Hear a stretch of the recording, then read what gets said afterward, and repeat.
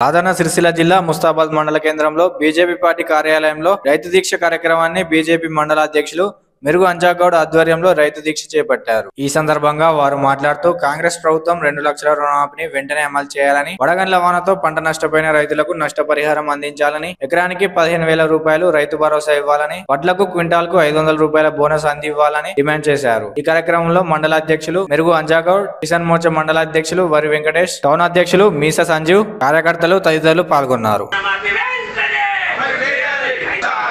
ఈరోజు రాష్ట్రంలో ఈ ప్రభుత్వం చేస్తున్నటువంటి నష్టం రైతులకు చాలా వాటిల్లుతున్నది. ఎందుకంటే రైతులకు రెండు లక్షల రుణమాఫీ చేస్తా అని చెప్పి ఓట్లకు ముందు రెండు లక్షల రుణమాఫీ చేస్తా అని చెప్పి ఏదైతే మాట చెప్పిందో అది ఇప్పటి వరకు రైతు బీమా లేదు.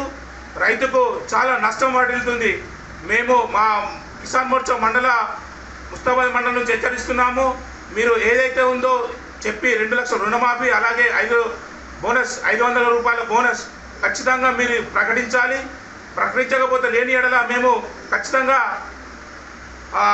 ధర్నాలకైనా మేము రాష్ట్రాలకైనా చేసి మేము ఈ ప్రభుత్వాన్ని గద్ద తీస్తామని మేము హెచ్చరిస్తున్నాము భారతీయ జనతా పార్టీ జాతీయ ప్రధాన కార్యదర్శి బండి సంజయ్ కుమార్ గారు మన గౌరవ కరీంనగర్ పార్లమెంట్ సభ్యులు రైతులను పరామర్శించడానికి గత నెలలో వస్తే అందరికీ అసలు పంట చేతికొచ్చే ముందు గల పంట నష్టపోయారు వాళ్ళకు కనీసం దిగుబడి కాదు కదా పెట్టుబడి వచ్చే పరిస్థితి కూడా లేదని వాళ్ళకు ఓదార్పు యాత్ర చేస్తే ఈ మొండి ప్రభుత్వం ఈ కాంగ్రెస్ ప్రభుత్వం గత ప్రభుత్వం బీఆర్ఎస్ టీఆర్ఎస్ ప్రభుత్వం లాగానే మొండి వైఖరి చేస్తున్నది. ఇప్పటికైనా తగు చర్యలు తీసుకోండి. పంట నష్టం బేరీజు వేయండి. అధికారులను ప్రోత్సహించండి. అధికారులను పంటపైకి వెళ్ళమని చెప్పండి.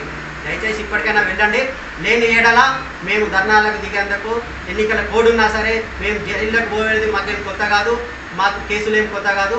మేము దేనికైనా రెడీగా భారతీయ జనతా పార్టీ కార్యకర్తలు ముందుంటారు. దయచేసి ఇప్పటికైనా మీరు కళ్ళు తెరవండి అని ఈ ప్రభుత్వాన్ని డిమాండ్ చేస్తున్నాం. జై శ్రీరామ్. భారత్ మాతాకి. జై